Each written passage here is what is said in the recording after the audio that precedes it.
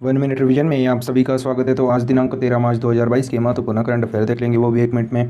तो दोस्तों, हाल ही में petroleum and natural gas ministry ने स्वच्छता पखवाड़ा पुरस्कारों में आईओसीएल यानी कि इंडियन ऑयल कॉरपोरेशन लिमिटेड को प्रथम स्थान दिया है। हाल ही में देश का पहला ड्रोन स्कूल, ग्वालियर, मध्य प्रदेश में स्थापित किया गया। हाल ही में तमिलनाडु राज्य में भारत के सबसे बड़े तैरते हुए यानी कि फ्लोटिंग सोलर पावर प्लांट का उद्घाटन किया गया। हाल ही में IRDAI यानी कि insurance regulatory development authority of India के नए अध्यक्ष के रूप में देवाशीष पांडा जी को नियुक्त किया गया। हाल ही में भारत की तेज गेंदबाज झूलन गोस्वामी जी वर्ल्ड कप में सबसे ज़्यादा विकेट लेने वाली दुनिया की पहली गेंदबाज बनी।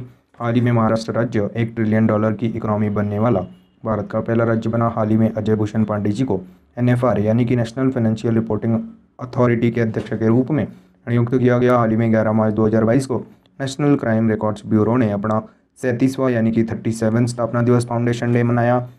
हाल ही में वीडेम डेमोक्रेसी रिपोर्ट 2022 में भारत नाइन्टी थर्ड रैंक पर है।